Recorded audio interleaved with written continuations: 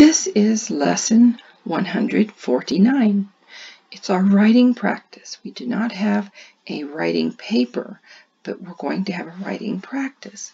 We're going to do names today. Okay, I have my blank paper. Yours has six lines and a name line. And I think it has an elephant and something else on it. I don't remember what it is. I don't have one in front of me right now, but these are my lines.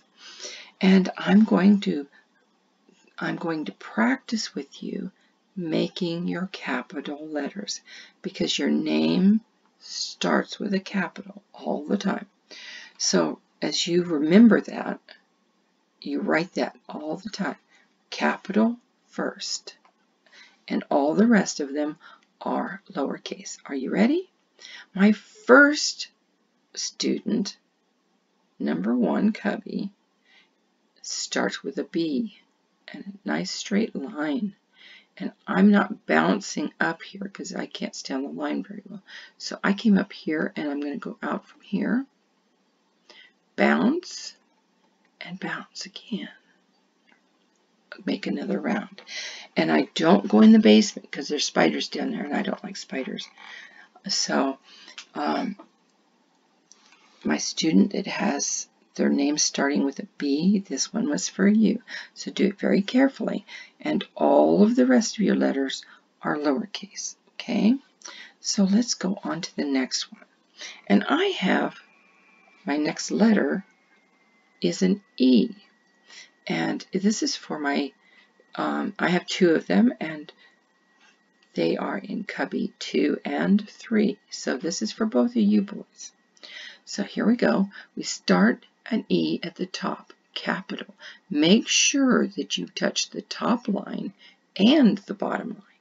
And then from there, you go across the top very carefully across the dotty line, which is the middle, and across the bottom. And since I have two E students, I'm going to make two E's. So let's go carefully, go across the top and across the middle and across the bottom. There you go. So the two boys with E in their beginning of their name. That's for you. So after that, I have,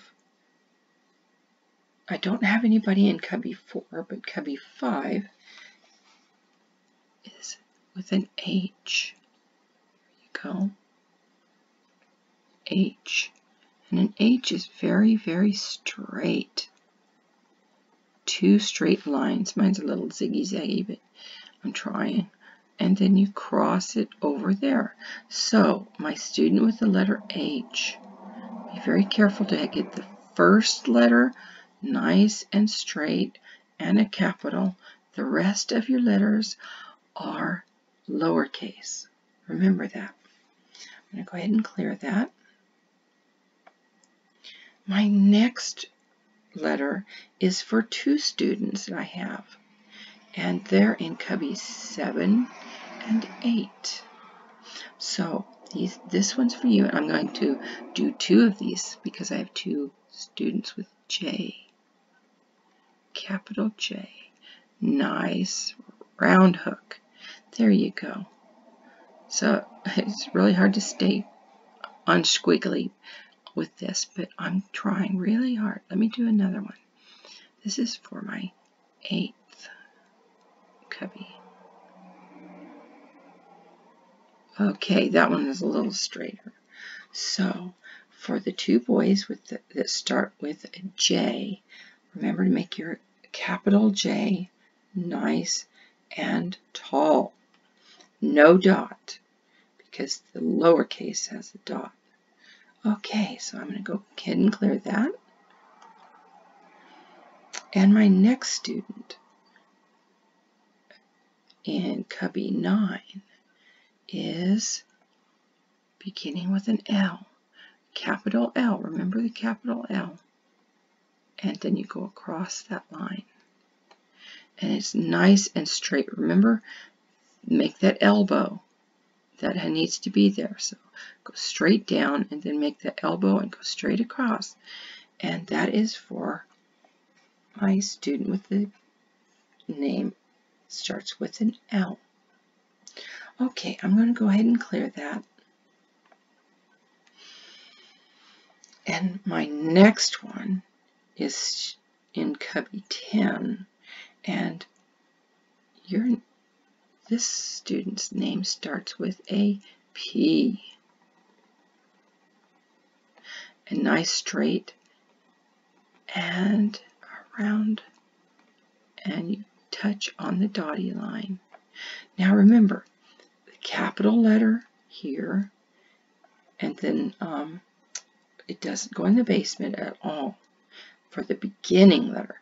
But since you have two P's in your name, I'm going to show you the lowercase one too and make sure that you can see it against that other one. So this one starts at the dotty line, goes into the basement, and I'd like to have you go back up and over and make its chin right on that bottom line.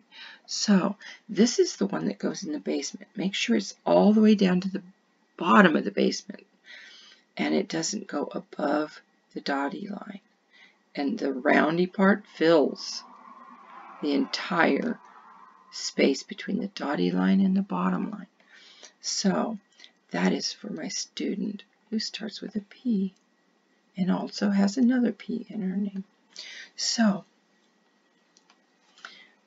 let's go to the next one. And this student has cubby number 11. And I'm going to start your name. And it starts with a an R. Beautiful R. And my name starts with an R too. So you go straight down and then go from where you start. If you need, if you want to go back up, that's fine, but on this one it's sometimes easier to lift and go around and out. There you go. Has its legs sticking out. So for my student that it starts with an R, this one was for you. I'm going to erase that one. And my student who has cubby number 12, this is your capital letter. So make it a tall, tall line. And then remember, you don't start at that line. You have to start here and go across to meet it. So you go all the way across and keep going. Don't lift your pencil. You start here and you go all the way across the top. So make sure that you don't go from here out and then from there out this way. It has to be two straight lines. One is down and one is across. So let's do that again so you can make sure you're following carefully. So start at the top line, go to the bottom line. Don't go in the basement. And then you start out here, kind of look, oh, let's see, I can make it from here to there. So then you go across the top. There you go. A nice tall T. So that's for you, my student with the letter T for the first part of your name. Capital T and the rest will be lowercase. So be very careful with that. And I'm going to end this right here. I'm going to clear the page and then I will say bye-bye.